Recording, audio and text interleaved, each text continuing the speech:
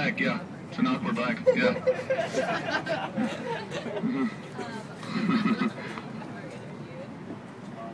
what, pardon me?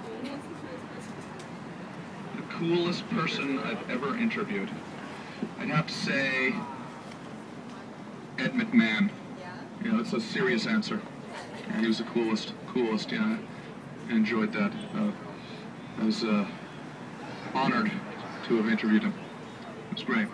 And uh, other than that, I would probably say Andy Milonakis. Yeah. yeah. Yes, we love Andy Milonakis. Cool. Thanks. Thanks for your call. Why'd you ever see it? Have a have a burger. Thanks so much for being here. All right, cool. Never can have too many burgers. Awesome. Okay, thanks.